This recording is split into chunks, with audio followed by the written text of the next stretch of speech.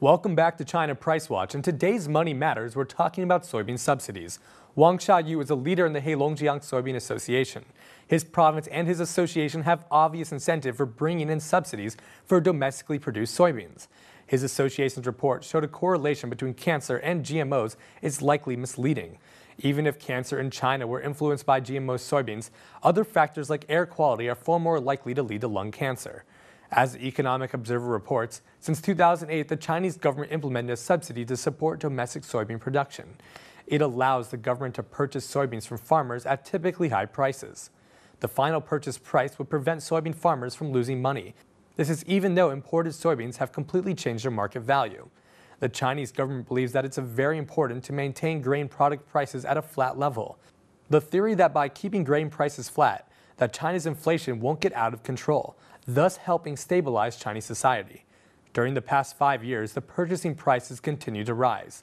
Meanwhile, the imported soybean prices have only gotten cheaper. The price gap between imported and domestic soybean has been growing. This makes domestic cooking oil companies take on huge losses by purchasing domestic soybeans. Instead, more Chinese cooking oil companies have switched to imported soybeans to save on production costs. When the disadvantages of the policy were gradually exposed, the Chinese government began to research and legislate new subsidies for soybean production. As the Economic Observer reports, market insiders said that by this autumn, the central government abolished the old national purchase policy.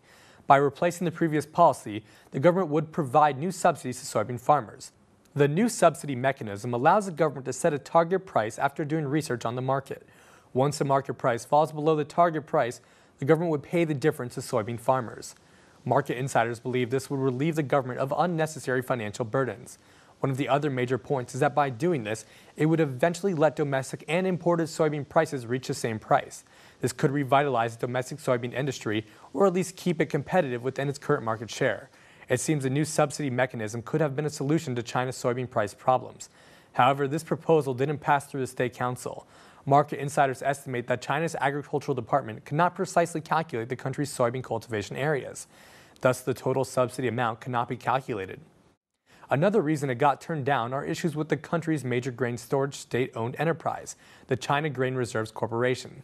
It said that its management problems would deter the new policy from being carried out entirely. Earlier this June, in the Heilongjiang province, there was a large fire at the company's grain storage facility. Many assume the fire wasn't accidental. To implement the new soybean subsidy policy could help lower the artificially high domestic soybean prices.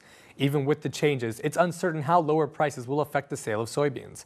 As producers of domestic soybeans, it's assumed that a market price is less appealing than artificially high government purchased products. Don't go away because up next for a question of the day, we'll hear what Beijingers think of soybean subsidies. Stay tuned.